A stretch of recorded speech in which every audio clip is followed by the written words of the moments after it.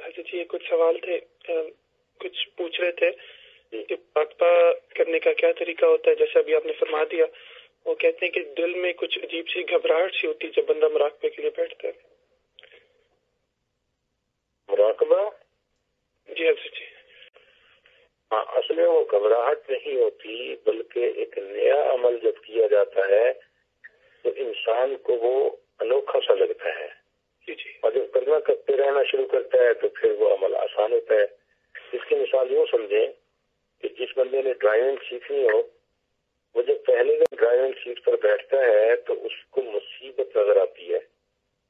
ساتھ انسٹرکٹر بھی بیٹھا ہوتا ہے لیکن وہ چلاتے ہوئے ایسے دیکھ رہا ہوتا ہے سامنے آنے والی گاڑی کو اور اس نے اسٹیئرنگ کو اتنا زور سے پکڑا ہوتا ہے جیسے گاڑی کہیں بھاگ کے جا رہی ہو۔ اور اگر سنگل روڈ ہے تو وہ کہتا ہے کہ بس گفتگو مت کرو، مجھے گاڑی کو کراس کرنے دو۔ تو آدھے گھنٹے کی ڈرائیونگ سے وہ تھک بھی جاتا ہے۔ لیکن جب اسی بندے کو ڈرائیونگ کی مشق ہو جاتی ہے، تو پھر یہ دس گھنٹے بھی ڈرائیونگ کرتا ہے، تو اس کو انجوائے کرتا ہے، پریشان نہیں ہوتا۔ اسی طرح مراقبہ شروع جب کیا جاتا ہے تو ابتدائی چند دنوں میں ذرا اجنبیت ہی محسوس ہوتی ہے۔ لیکن بیٹھے رہنے سے، بیٹھے رہنے سے پھر طبیعت کے اندر جیسی جذبیت آتی ہے کہ انسان کا دل اللہ کی یاد میں ڈوبنے کو کرتا ہے۔ پھر کیسی کیفیت ہوتی ہے کہ دل کے آئینے میں ہے تصویر یار، جب ذرا گردن جھکائی دیکھ لی۔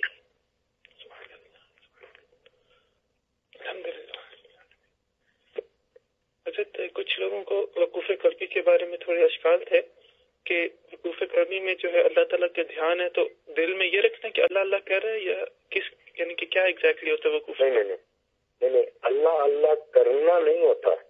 یس بس اللہ کی طرف ایک دھیان رہے۔ آپ یوں سوچیں کہ جس طرح ایک بھائی اپنے دفتر میں جائے اور دوسرا بھائی عدالت میں کسی مقدمے کی وجہ سے جائے تو دفتر میں جانے والا راستے میں بھی اسی بھائی کے بارے میں سوچ رہا ہوتا ہے کہ اب اس کا مقدمہ چل پڑا ہوگا، وکیل آ گیا ہوگا، پتنی جج نے کیا کہا ہوگا، وکیل نے کیا کہا ہوگا۔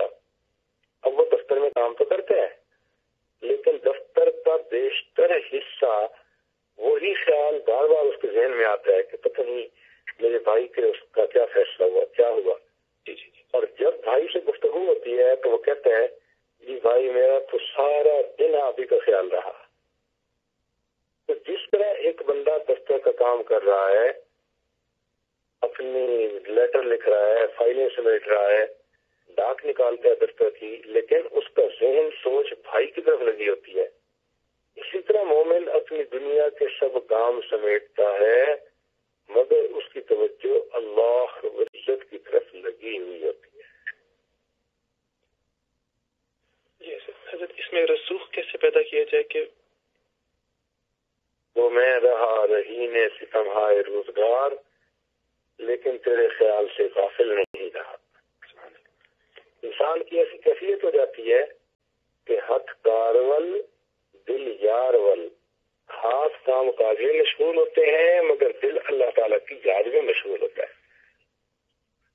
یہ ایسا ہی ہے جیسے محبت کا تعلق ہو کہیں تو دن میں دو چار دفعہ کوئی یاد نہیں آتا۔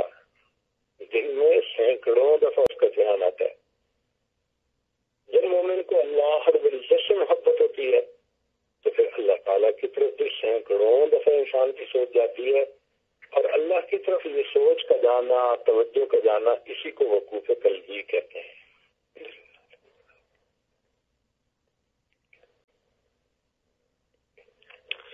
جی حضرت کچھ بھائیوں اور بہنوں نے باطنی بیماریوں کے بارے میں لکھا تھا حضرت. میں یہ چار پانچ سوالوں کو ایک ہی سوال کر کے میں حضرت عرض کر دیتا ہوں. جی کہہ رہے تھے کہ زد، غصہ بہت زیادہ آ جاتا ہے. لوگوں کے بارے میں بدگمانی بہت زیادہ آ جاتی ہے. مثلاً یہ کہ کسی نے میرے بچے کو ڈانٹ دیا تو ایک دم غصہ اور بدگمانی آنا شروع ہو جاتی ہے. اور یہ کہ نیگیٹو خیالات، منفی خیالات بہت زیادہ آتے ہیں. اور یہ کہ وہم اور شک و شبہات بہت زیادہ ہوتے ہیں. وساوس بہت زیادہ ہوتے ہیں، بلکہ ایسے وساوس کی کلاس کی کلاس ہی کینسل ہو جائے، لیکن یہ کہ جب کلاس ہوتی تو پھر ہوتا ہے کہ نہیں، میں کر لوں۔ پھر یہ ہوتا ہے کہ حضرت کے طبیعت یعنی بہت اچاٹ رہتی ہے اور اپ ڈاؤن ہوتی رہتی ہے۔ تو حضرت اس کے بارے میں یہ کافی حضرات نے اور خواتین نے یہ سوال لکھے تھے جی۔ بس دیکھیں، یہ جو آپ نے باتیں بتائی ہیں نا کہ طبیعت ہے غصے کا آنا یا بدگمانی کا ہونا یا انسان کے دل میں کسی کے بارے میں کینا اور حسد ہونا، یہ ساری ہیں باطنی بیماریاں۔ اور ان باطنی بیماریوں کے لیے اللہ کا ذکر جو ہے نا، وہ تریاق ہے۔ نبی شام نے شاد فرمایا، ذکر اللہ شفا القلوب، کہ اللہ کا ذکر دلوں کے لیے شفا ہے۔ لہذا جو یہ مراقبہ بتایا گیا، اس کے بتانے کا بنیادی مقصد ہی یہی تھا کہ جب اس کو آپ گھر میں کریں، بار بار کریں تو پھر اللہ کی محبت دل میں آتی ہے اور یہ باطنی بیماریاں ساری کی ساری انسان کے اندر سے ختم ہو جاتی ہیں۔ انسان کی اصلاح ہو جاتی ہے۔ لہذا ذکر کی کثرت سے انسان کے اندر کی باطنی بیماریاں ختم۔ ہمارے بزرگوں نے اس کو یوں کہا کہ فکر کی گندگی ذکر سے دور ہوتی ہے۔ فکر کی گندگی سے مراد یہ تھا کہ سوچ گندی ہو۔ نیگیٹو تھنکنگ ہے اور ہر وقت کسی نہ کسی کے بارے میں ایب ذہن میں ہے اور بدگمانی ذہن میں ہے۔ اس کو فکر کی گندگی کہا گیا۔ تو فرمایا کہ فکر کی گندگی ذکر سے دور ہوتی ہے۔ لہٰذا جو مراقبہ وغیرہ بتایا گیا، اس کو پابندی سے آج سے کرنا شروع کریں۔ انشاءاللہ چند دنوں کے اندر خود اللہ تعالیٰ نقشے دکھا دیں گے ان کو۔ ایک بہن نے سوال لکھا تھا کہ مراقبے میں یعنی کہ کسی کو امیج لانا ہوتا ہے ذہن میں یا کوئی پکچر لانی ہوتی ہے یا اس قسم کا کچھ؟ نہیں، کوئی امیج نہیں لانا ہوتا۔ کوئی امیج نہیں لانا ہوتا۔ کوئی تصور نہیں سوچنا ہوتا۔ کوئی منظر نہیں سوچنا ہوتا۔ صرف یہ نیت شروع میں کرنی ہوتی ہے کہ اللہ ہر العزت کی رحمت میرے دل میں آ رہی ہے، دل میں سما رہی ہے اور اس پر میرا دل اللہ اللہ اللہ، یہ میرا دل بول رہا ہے اور میں اسے سن رہا ہوں۔ جب انسان دھیان کر کے بیٹھتا ہے نا، اللہ اللہ کا ذکر سننے کا، جیسے قرآن مجید کی کیسٹ چل رہی ہو تو بندہ آرام سے بیٹھ کے کیسٹ سنتا ہے۔ تو مراقبہ یہی کہتے ہیں کہ دل کی کیسٹ بج رہی ہے، اللہ اللہ کر رہی ہے، تم پاس بیٹھو اور اس کو سنو۔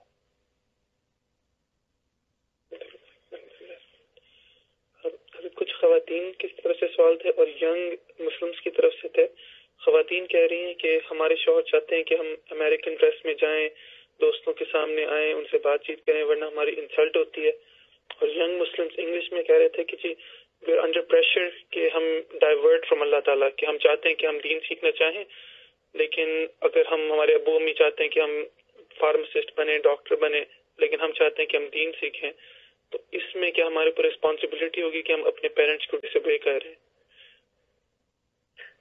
نہیں نہیں، ایسی بات نہیں ہے۔ مقصد زندگی اللہ رب العزت کی بندگی۔ دنیا میں انسان جو کچھ کرتا ہے، وہ ضروریات کو پورا کرنے کے لیے کرتا ہے۔ ہم جو خاص طور پر عورتیں پڑھتی ہیں، انگریزی کی تعلیم پاتی ہیں، تو وہ ضرورت کے تحت کرتی ہیں۔ کہ اس تعلیم کو پائے بغیر انسان کو اچھی زندگی گزارنے کا پتہ ہی نہیں چلتا۔ وہ اپنے بچوں کو تعلیم کا خیال ہی نہیں رکھ سکتی، ان کو گائیڈ بھی نہیں کر سکتی۔ ماں ہی ان پڑھ ہے تو بچوں کو کیا بتائے گی؟ تو تعلیم ضرورت ہے۔ لیکن اللہ رب العزت کو راضی کرنا انسان کی زندگی کا مقصد ہے۔ اب ضرورت کی خاطر انسان مقصد کو بھول جائے تو یہ چیز جائز نہیں ہوتی۔ لہذا جیسے بھی انسان زندگی گزارے، یہ چیز ہر وقت سامنے رہے، لباس ایسا ہو، طور طریقہ ایسا ہو کہ جو اللہ تعالیٰ کے حکم کے مطابق ہو۔ اس پر اللہ تعالیٰ دنیا میں بھی عزتیں دیتے ہیں اور اللہ تعالیٰ آخرت میں بھی کامیابیاں دیتے ہیں۔ دل تو یہ چاہتا ہے کھاؤ، پیو اور ایش کرو۔ مگر جس نے زندگی کا یہ مقصد بنا لیا تو پھر اس نے آخرت کی کیا تیاری کی؟ اس لیے شریعت کے مطابق زندگی گزارنا اور اللہ رب العزت کی نگاہوں میں انسان کا قبول ہو جانا یہ مقصد زندگی ہے۔ اللہ تعالیٰ اپنا فضل فرماتے ہیں، ہم نے یہ دیکھا ہے کہ جو انسان اللہ کا بن جاتا ہے، اللہ تعالیٰ اس بندے سے بن جاتے ہیں۔ من کان اللہ کان اللہ لہو۔ جو اللہ کا ہو گیا، اللہ تعالیٰ اس کے ہو جاتے ہیں۔ اور اللہ تعالیٰ اس بندے کو پھر دنیا میں عزتیں بھی دیتے ہیں، رزق بھی دیتے ہیں، سکون بھی دیتے ہیں، سب نعمتوں سے نوازتے ہیں۔ اللہ تعالیٰ کو خوش کر لیجیے۔ ربا تو راضی کے سارا جگ راضی۔ ہم اللہ تعالیٰ کو خوش کر لیں، انشاءاللہ آپ دیکھیں کہ اس کی وجہ سے اللہ تعالیٰ لوگوں کے دلوں میں عزت پیدا کر دیں گے۔ لوگ محبت دیں گے پیار دیں گے اور ہم خوشیوں والی زندگی گزاریں تو حضرت صدیقہ رضی اللہ تعالیٰ نے ایک مرتبہ نصیحت کی تھی۔ ایک صحابی نے کہا تھا کہ ام المومنین آپ امت کی ماں ہیں آپ نصیحت کریں۔ انہوں نے نصیحت یہ فرمائی تھی کہ اگر تم مخلوق کو خوش کر کے اللہ کو ناراض کرو گے تو اللہ تعالیٰ مخلوق کے دل میں تمہاری وقتی پیدا کر دیں گے، اور وہ مخلوق جس کو تم نے خوش کیا، وہ اندر سے تمہیں برا سمجھے گی۔ اور اگر کسی موقع پہ مخلوق کو ناراض کر کے تم نے اللہ کو خوش کر لیا، تو اللہ تعالیٰ اس مخلوق کے دل میں تمہاری محبت ڈال دیں گے۔ وہ جو اوپر اوپر سے تمہاری مخالفت کر رہے تھے، اندر سے وہ بھی تمہارے عقیدت مند اور محبت کرنے والے بن جائیں گے۔ ہم نے تو یہ دیکھا ہے کہ انسان جو شریعت کے اپنے آپ کو شریعت کے حوالے کرتا ہے، تو پھر اللہ کی مدد ہوتی ہے، عزتیں اللہ دیتا ہے، پھر اللہ ایسے بندوں کو عزتوں سے نوازتے ہیں۔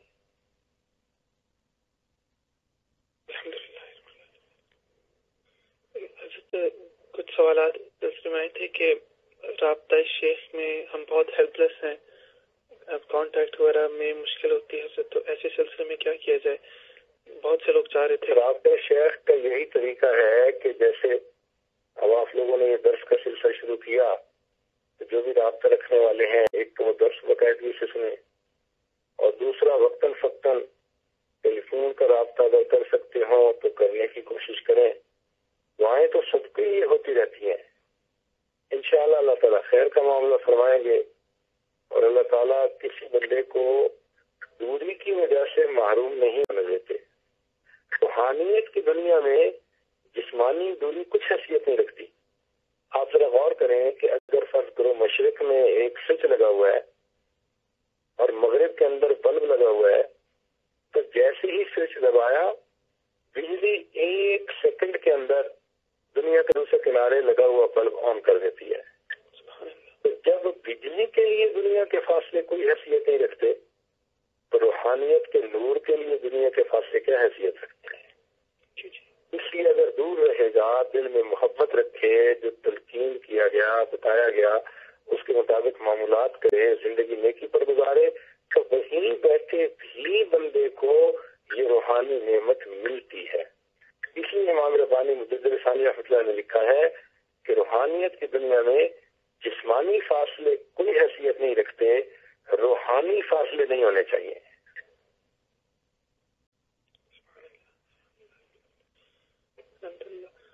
حضرت ایک سوال تھا کہ مستند سلسلے کون کون سے ہیں؟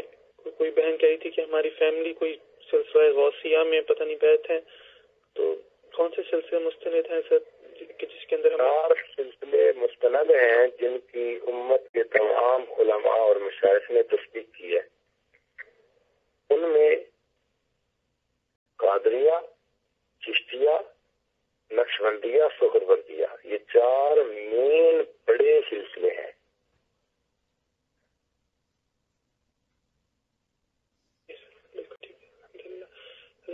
دین دنیا میں کیسے بیلنس پیدا کریں؟ کیونکہ دنیاوی زندگی ہے جاب ہے بچے ہیں بیوی وغیرہ ہے تو اس کو اور دین کو کیسے آپس میں بیلنس کریں؟ دیکھیں نا دین ہمیں یہ تو نہیں کہتا کہ ہم نیک بن گئے ہیں تو اب بیوی سے مت بولیں اور باہر میں رہیں اور بچوں سے مت بولیں۔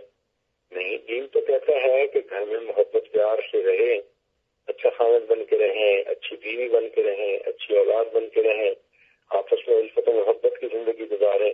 تو دین تو محبت پیار کی زندگی کو پسند کرتا ہے۔ اس لیے بیلنس یہی ہے کہ انسان جو کام بھی کرے بس یہ سوچ لے کہ اس کام میں نبی رسات اسلام کی مبارک سنت کیا ہے، اللہ کا حکم کیا ہے؟ اگر اس کے مطابق اپنی زندگی کو کرتا جائے گا تو انشاءاللہ دنیا میں بھی سکون اور آخرت میں بھی سکون۔ حدیث پاس میں آتا ہے کہ ان اللہ جعل العزت والوقار لمن تابع امری کہ اللہ تعالی اس بندے کو عزت اور وقار دیتا ہے جو اللہ کے امر اور حکم کی پیروی کرتا ہے۔ وجائل لمن خالف امری۔ اور جو اللہ کے حکموں کی خلاف ورزی کرتا ہے، اللہ تعالیٰ اس کو ذلت عطا کرتے ہیں اور وہ بندہ دنیا کے اندر پریشان حال ہوتا ہے۔ اور آپ دیکھیں کہ جو بندہ دین سے ہٹتا ہے، سکون اس کو نہیں ہوتا دل پریشان ہوتا ہے نہ دنیا سے نہ دولت سے نہ گھر آباد کرنے سے تسلی دل کو ہوتی ہے خدا کو یاد کرنے سے جی، جی۔ اللہ کی جو ہے وہ نیکی والی زندگی انسان گزارے تو پھر اللہ کی مدد ہوتی ہے۔ چنانچہ حدیث سے پاک میں آتا ہے۔ حدیث سے خود اللہ تعالیٰ فرماتے ہیں، اے بندے، ایک میری مرضی ہے، ایک تیری مرضی ہے۔ اے بندے، ایک میری مرضی ہے، ایک تیری مرضی ہے۔ اگر تو چاہے کہ وہ پورا ہو جو تیری مرضی ہے، تو میں تجھے تھکا بھی دوں گا اور تیری مرضی کو بھی پورا نہیں ہونے دوں گا۔ اور اگر تو چاہے کہ وہ پورا ہو جو میری مرضی ہے۔ اے میرے بندے میں تیرے کاموں کو بھی سنوار دوں گا اور تیری مرضی کو بھی پورا کر دوں گا۔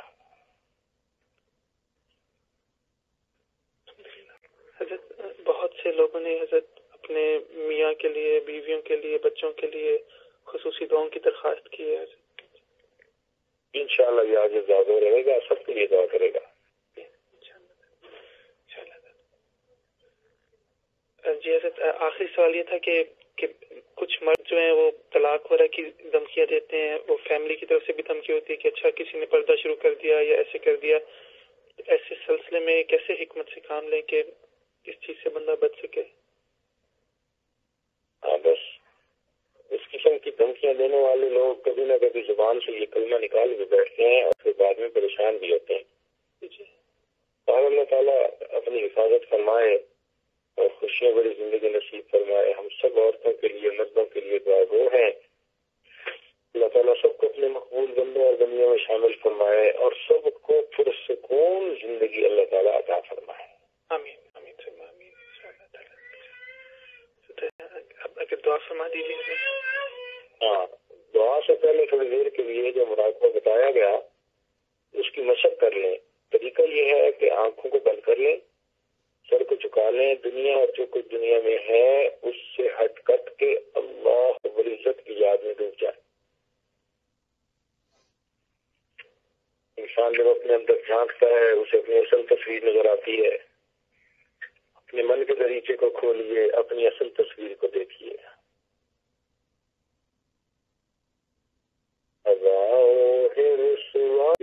دل بدل دے۔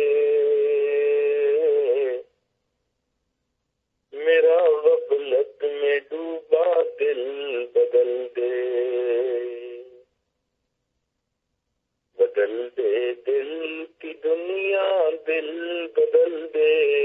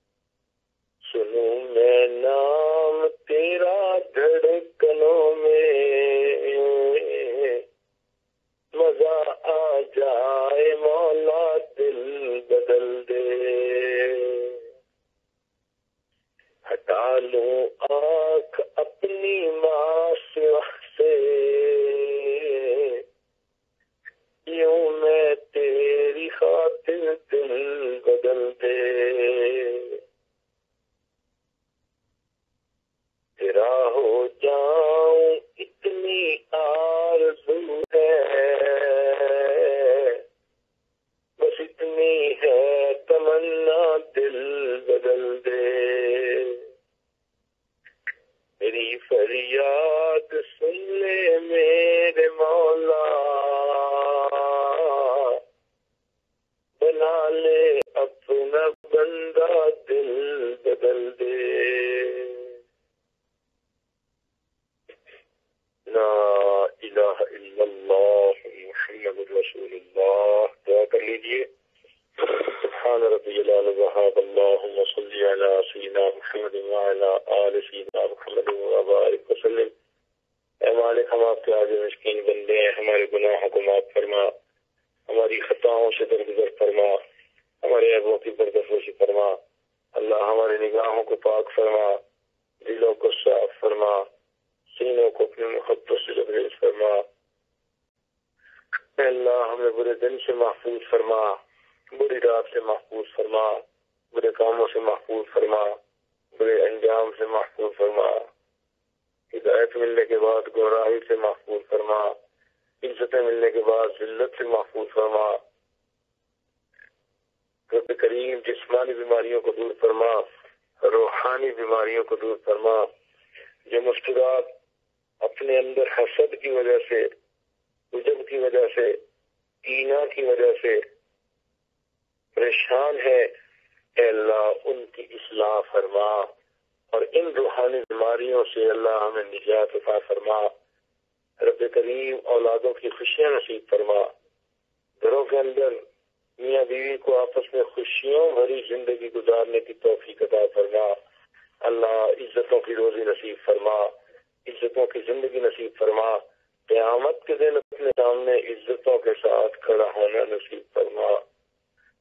رب کریم ہمارے مشکلوں کو آسان فرما، اٹکے کاموں کا ہونا آسان فرما کے کاموں کو اپنی رحمت سلجھا رب کریم جو مانگا وہ بھی عطا فرما، جو مانگنا چاہیے تھا ہم نہیں مانگ سکے، ہمیں وہ بھی عطا فرما۔ روزگار عالم، جنہوں نے خاص دعاؤں کے لیے کہا، سب کی نیک مرادوں کو پورا فرما، بے اولادوں کو نیک اولاد عطا فرما۔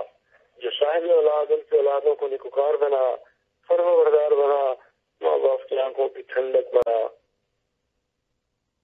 جن گھروں میں جوان بچے بچیاں موجود ہیں، اللہ ان بچوں کے مستقبل کو روشن فرما ماں باپ کے لیے فرضہ کرنا آسان فرما۔ ہمارے والدین عزیز قار مشاعر، جو فوت ہو چکے ہیں، ان کی مقصد فرما۔